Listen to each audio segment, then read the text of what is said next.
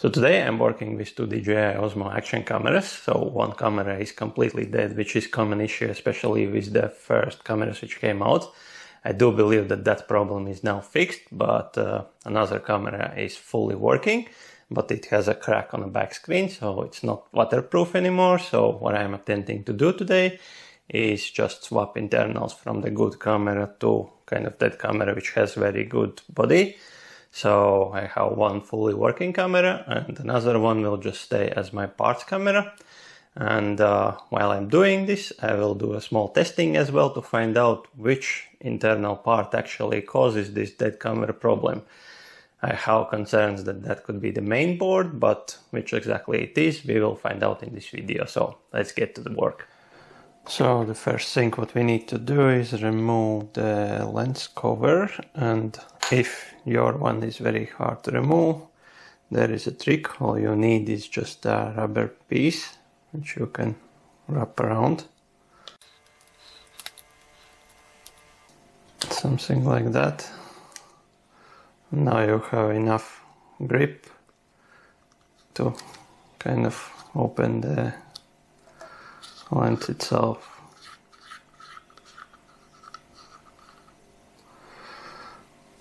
So this I have the dead cameras and,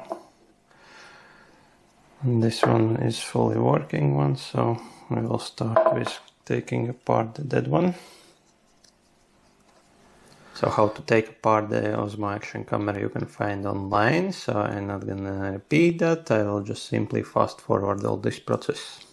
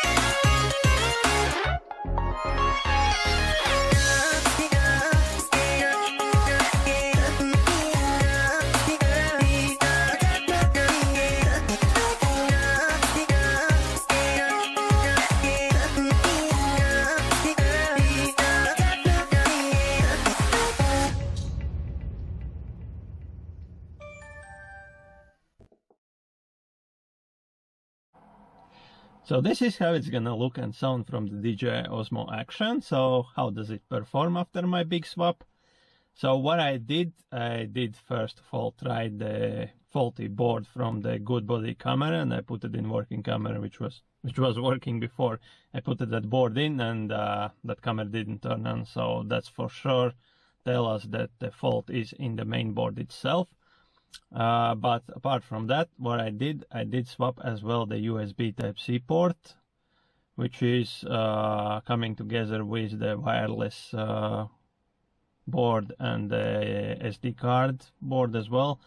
So I did notice that there is a bit difference between them, so that was the reason why I did that swap.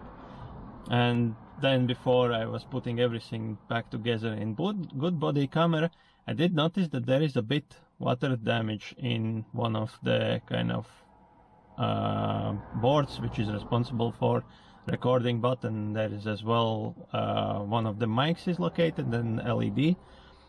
And uh, yeah, so that could be probably the reason why that board was faulty. But it's just probably the reason, as I'm not sure what exactly happened with it. But uh, yeah, that says that there was a little bit leak probably from the microphone port because that's only place where water could actually get in because anything else inside in the camera was like not damaged at all. So only that one corner.